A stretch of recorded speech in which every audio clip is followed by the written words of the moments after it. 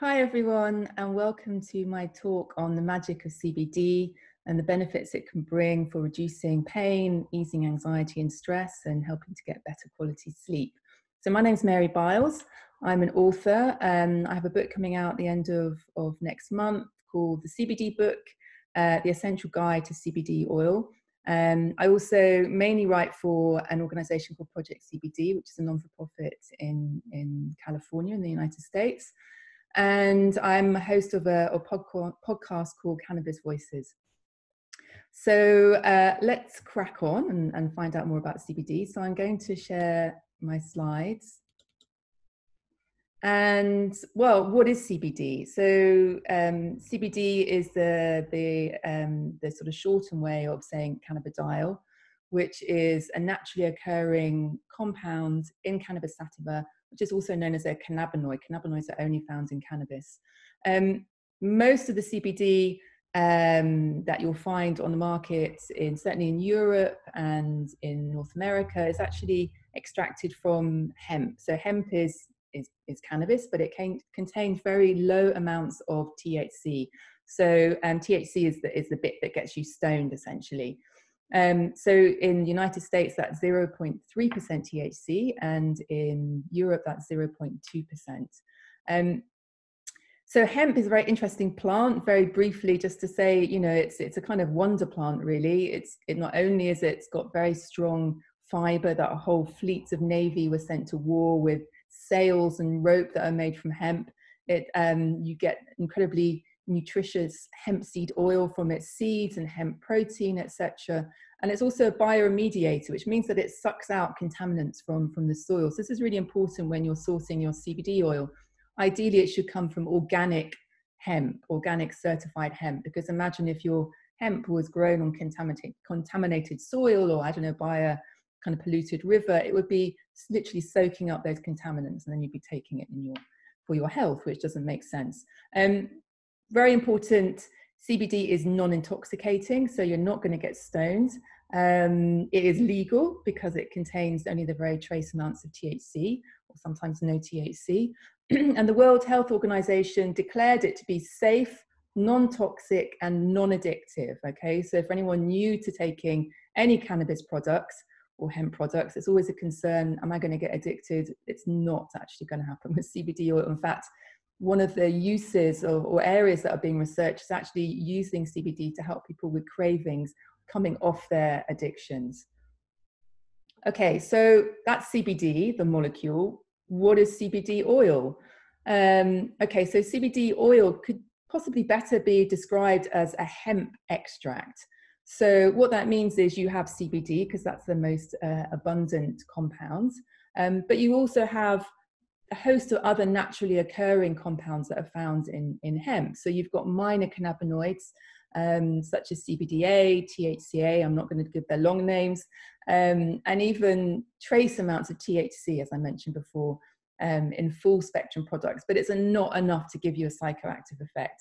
Um, there are also terpenes, which are the aromatic molecules that are found in nature. So not just cannabis, it's in all aromatic plants and flowers. So um, actually, you know, cannabis has a, a, very kind of distinctive smell. It doesn't come from the cannabinoids, it comes from the terpenes. Um, and there are terpenes that are in cannabis, but are also in other plants. So, for example, linalool, which is found in lavender, is responsible for the relaxing effect. Um, limonene, which is found in citrus fruits, is a very kind of elevating, mood elevating um, terpene, and that's also in, in cannabis. Um, and you'll also find some flavonoids, which are powerful antioxidants.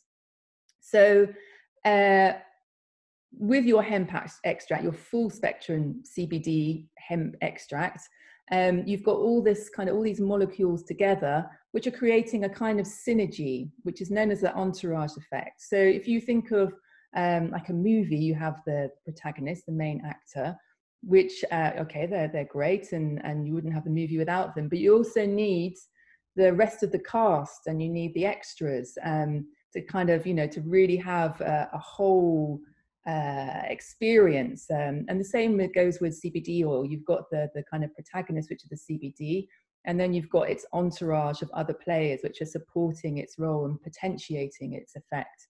Um, so we've got the full spectrum, which I've spoken about, that has a little tiny bit of THC. And then you have broad spectrum, which is more or less the same, usually, um, but it's had the THC removed. So this is of interest to people who are worried about um, getting a drug test and will the THC, THC show up in a uh, drug test or any other reasons why they not, may not feel comfortable about having a product with some THC in it. Um, and then there are uh, products made with uh, CBD isolate, which is a purified um, CBD. Um, now, probably like me, you would think, okay, CBD is so great, and I want to get the purified version. Uh, it doesn't quite work like that. Um, it's mostly anecdotal evidence, um, but it, the feedback is from people that uh, with CBD isolate, you need to take a lot more, and often it's not as effective. So um, generally, if you can go full spectrum or broad spectrum, that, that is preferable. Um, and just to say, these CBD oil products are classed as nutritional supplements, so they're not a medicine, and companies that are selling them shouldn't be making any medical claims. Um, and how to take them? Well, I'd say the most popular is um, in tinctures or, or drops like this. So literally, you take the CBD under your tongue and you hold it there, just to kind of help um, with absorption not everyone likes the hempy taste. I, I love it. If it hasn't got the hempy taste, I'm like, ah, god damn it, where's the hempy taste? Um, but for other people, they're like, mm, that's a bit, that's a bit too much. So they might prefer CBD capsules or soft gels. Um, vaping again is very popular, particularly for people who want to have a, um, a more instantaneous effect because it's the quickest way of getting the CBD into your bloodstream. Although there is some kind of safety issues potentially um, CBD edibles, your gummies, chocolates, they kind of put CBD in everything these days. Some of it's a bit kind of faddish, but you know, if it's a CBD gummy, you're probably doing okay, as long as there's not kind of, I don't know, horrible additives and things that, that you wouldn't want to be taking in a health product. And then CBD topicals. So literally uh, creams and ointments that you rub on your skin, um, which seem to be popular for joint pain, muscle pain, and also inflammatory skin conditions. So how does CBD work? Well, I'm not going to kind of bore you too much with the science, but just to say, I love this description of it being a promiscuous compound. So what that means is it kind of gets around uh, by activating multiple molecular targets at once. So perhaps for what we're talking about today, we'd be interested in um, its activation of the serotonin receptor. So we know that um, serotonin is a neurotransmitter that um, relates to our mood um, and keeping us kind of anxiety free. So, uh, and studies show that the general calming effect of CBD very much comes from its activation of this particular class of receptor.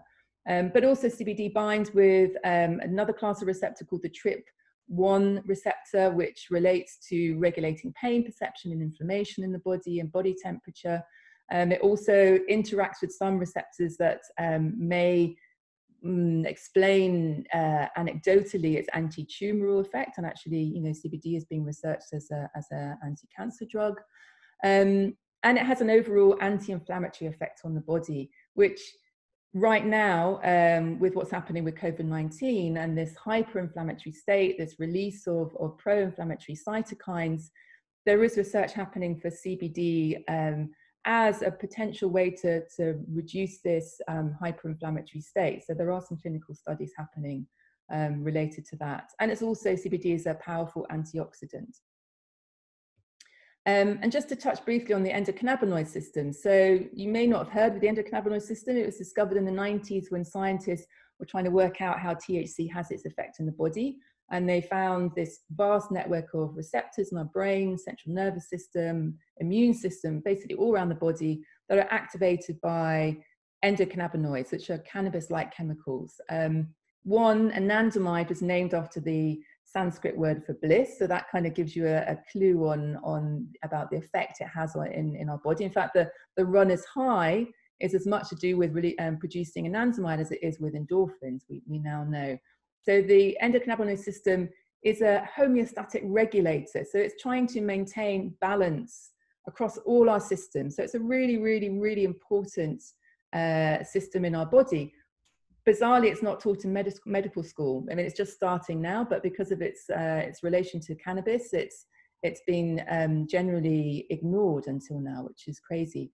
Um, our endocannabinoid system can become depleted uh, by how we live in modern society. So, chronic stress, poor diet, uh, excess alcohol, and this makes us more vulnerable to anxiety and depression and other conditions related to hypersensitivity to pain, like fibromyalgia, IBS, and migraines. We know that CBD helps to strengthen the endocannabinoid system. So it helps to kind of um, increase the signaling between the between anandamide and the receptors.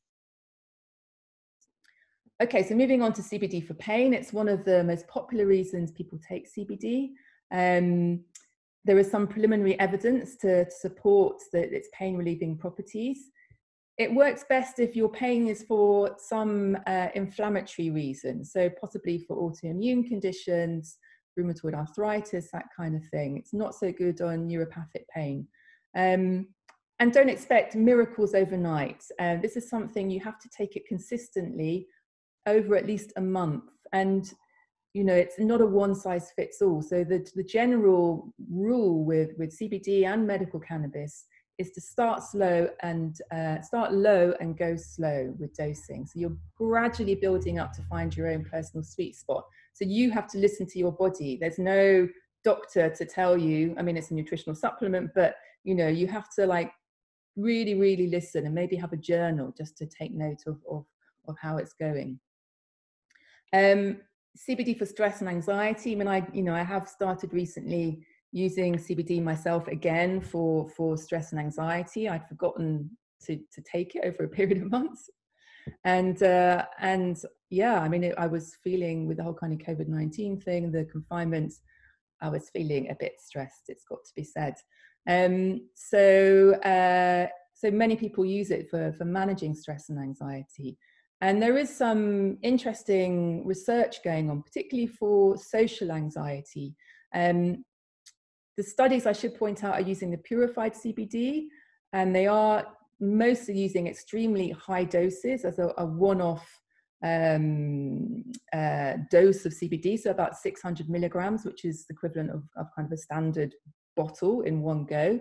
Um, that said, many people report getting great benefits for, redu- reducing stress and, and feelings of anxiety and overwhelm with far lower doses.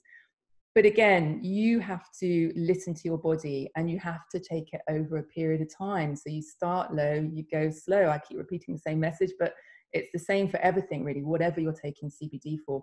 And please, you know, if you have persistent feelings of anxiety, seek um, advice from a health prof- uh, professional. Um, so, CBD and sleep. Uh, again, a popular reason for, for taking CBD. Many people actually start taking it for something else um, and then actually notice, hey, my, I'm actually sleeping better.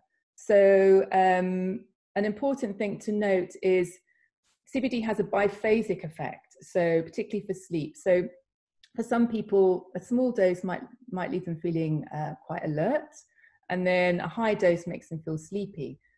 For other people, it's the other way around, or it's just, you know, it may not have that effect at all. So it's a very kind of ind- individualized um, relationship with CBD. But if you're taking CBD for sleep, it's probably uh, a good idea to not take it directly before you go to bed in case you have that sensitivity and it makes you feel more alert.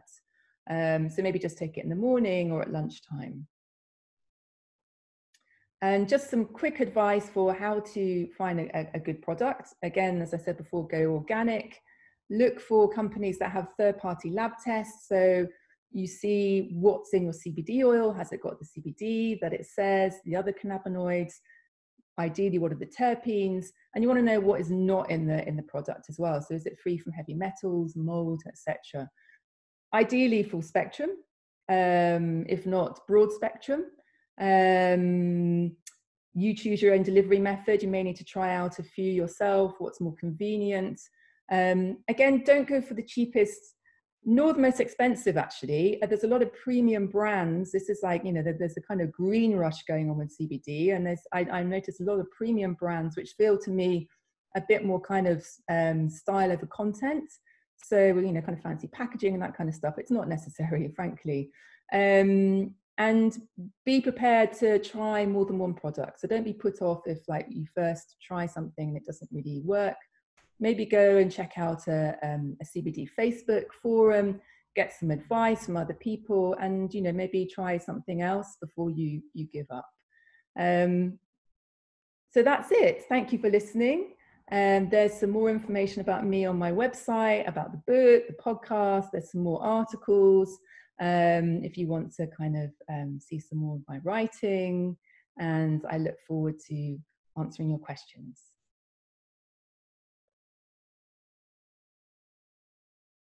Hi everyone. Um, I hope you've enjoyed my talk about CBD. I'm really excited today to be here. My first ever live Q&A session online. So I've got a question. The first one is, how often should you be taking CBD? Um, well, just to start with that, there's no one size fits all with CBD, um, but a sort of general rule of thumb is to um, probably take it a couple of times a day. So I would recommend I must point out I'm not a doctor, so this is not a, um, uh, medical advice. Um, but most people take it in the morning and in the evening. But as I mentioned um, when I was talking about sleep, perhaps if you're taking it for sleep and you're just starting out, avoid taking it just before you go to bed. Um, I'm just going to remove my earpiece because it's really annoying me. Um, so, is it short term or long term? Don't expect miracles overnight, as I, as I said in the talk. Um, for some people, it can be, you know, sort of day and night. You know, they they they perhaps for pain, um, they feel an effect quite quickly. Um, but generally, you know, you should allow about a month taking it regularly to feel some effect. If you're taking it for something that's more chronic, um, such as stress, you know, stress can be a, a chronic situation and anxiety and pain. It is something that you can take on an ongoing basis. Um, also, is there anything I should avoid taking it alongside? Now, bearing in mind, we're talking about taking CBD um, as a nutritional supplement. So, usually people are taking between mm, 10 milligrams uh, a day and possibly going up to 100 milligrams for something that's possibly more um, chronic pain related, but you know, not necessarily. Um, and really, at those sort of levels, it's unlikely that there would be any drug interactions. But if you are taking prescription medication, uh, I would recommend speaking to your doctor. Uh, increasingly, um, physicians have more knowledge about CBD. Um, in my book, actually, I do talk about um, drug interactions, and there is a list of um, medications where there could be some caution needed. But as I say, if you're taking it at the lower doses that, that most people do uh, for nutritional supplements, it shouldn't be a problem. Um, okay, next question. Uh, what CBD brands do you love and why? This is a really, really hard question because there are so many CBD brands. So I just, uh, at the moment, um, I'm using a particular brand, well, two brands. Uh, I mean, I'm based in the UK, so um, I'm using a brand called Spirit of Hemp um, and another brand called Canawell. Um, and I like them because one, they're full spectrum that I mentioned in the talk. Um, Spirit of Hemp also um, adds back in some more terpenes. So terpenes are the the aromatic molecules that have therapeutic properties in their own right. Um, they're made with great love and care. Um, they haven't come about as part of this kind of green rush explosion. You know, they're they're they're genuine people wanting to help other people um, through CBD because because there is you know potentially so much money to be made in CBD there's there's been a, a, whole kind of flux of influx of companies being set up just with dollar signs in mind and I and personally I, I try and stay away from those. Um, but you know as I said in the talk you really have to try a few a few brands and and see what works with you. And I really really recommend um, dipping into some Facebook um, groups that are for CBD asking questions because you know these are the people that really really know the brands and um, and they can be really helpful just to give you some tips okay next question Um, I have a family history of arthritis, but I do not have it yet. Is CBD preventative? Um, or does it help you once you have the medical problem occur? So, again, remembering we're talking about here CBD as a nutritional supplement. So, um, you know, any kind of CBD company worth its salt would not say that um, CBD is going to um, uh, control the pain that you have with arthritis or, or prevent the pain with arthritis. Um, but I think if you consider it as being a nutritional supplement and think of it, um, I mentioned the endocannabinoid system in the talk. I think quite a lot of us are endocannabinoid deficient. Uh, and when you consider the amount of stress that we're generally under, and particularly at the moment with the whole um, COVID situation, I think it's fair to say there's a um, our endocannabinoid system um, need a little bit of kind of uh, extra support. So when our endocannabinoid system is working as uh, you know as it should be, it's keeping us in balance basically. So in this way, if you're taking CBD and supporting your endocannabinoid function, it could be considered preventative, but there's no scientific studies to say that. So I think it's you know it's it's something very helpful to think of it in those terms. Um, so next question, is there any evidence of CBD helping with glaucoma? There isn't any evidence. Um, uh, THC, which is the psychoactive compound in, in cannabis, yes, there is. And actually that, that is um, uh, one of the indications, glaucoma is one of the indications uh, for um, medical cannabis in many countries. Um, so, to my knowledge, uh, which dose needs to be taken daily in order to get any really effects for, for anxiety? Really sorry to disappoint everyone, but I can't say I can't say with dosage because it's a very much um, a personalized approach. So um, you have to. This is an invitation. CBD is an invitation to listen to your body, right? So um, my advice, I you know I I do get anxiety, um, and the only way to go when you're starting off with CBD is the start low, go slow. Okay, so let's say you start off with the, the lowest strength oil, you know, don't go in with the big guns, um, and you just take maybe a couple of drops three times a day for, let's say, three or four days. Am I feeling anything? No. I build up a couple of drops and you keep building up until you actually start to, to feel the effect that you're desiring. So, in which case, you know, if it's for anxiety, you start to feel a little bit less anxious. And then when you start to feel a little bit less anxious, you go up a little bit more. And then if you find there's no change now, you know your sweet spot is the previous dose. So I can't say it's 10 milligrams, it's 20 milligrams. Um, it's up to you. You have to um, try it out for yourself, maybe have a diary. Um, and also, as I say, you know, you can try different brands. Um, it's really important if you're taking it for anxiety, that you make sure that it's it's a brand that um, comes with third third party lab reports.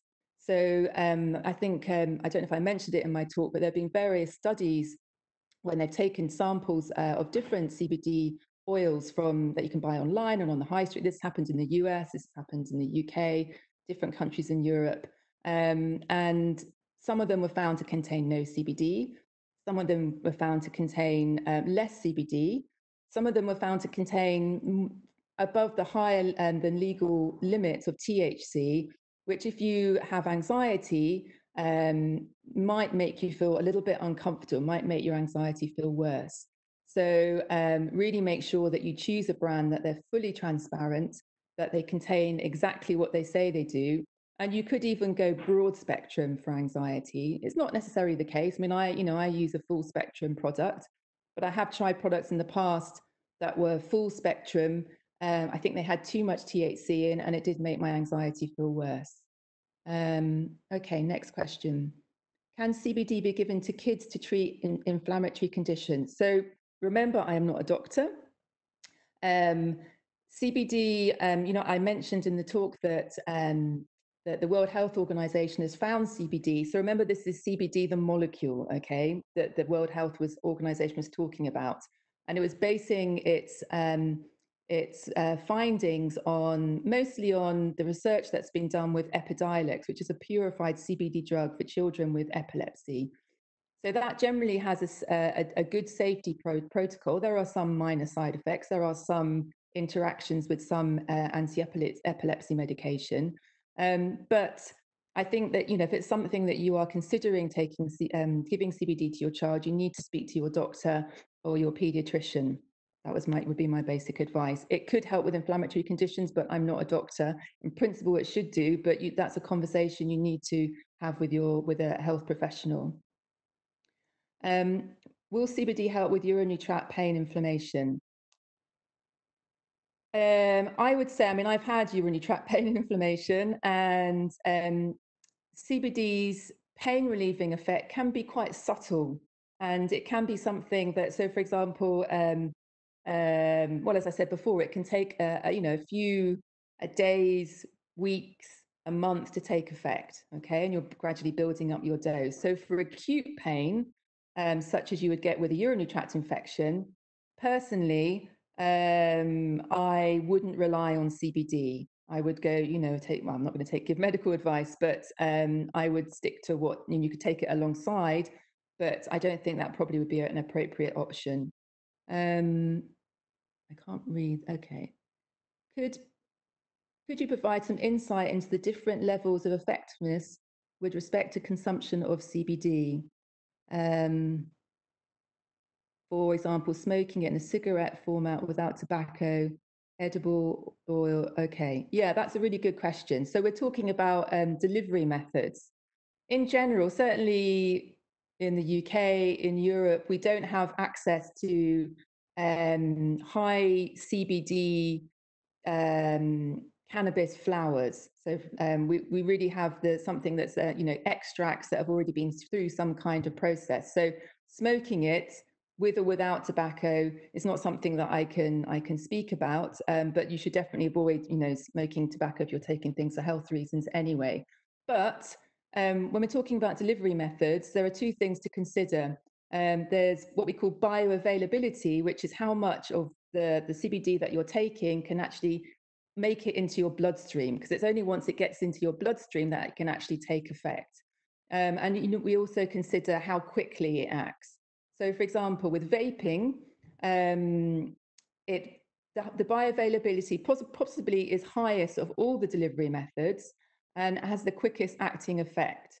Um, but there is a little bit of controversy around um, vaping CBD because um, there were some problems, particularly in the United States, when there were some impurities and it was causing problems with the lungs. But you know, if you're going to you know vape CBD, again, you have to get make sure it's third-party lab tests and it and it's um, a safe product that you're using.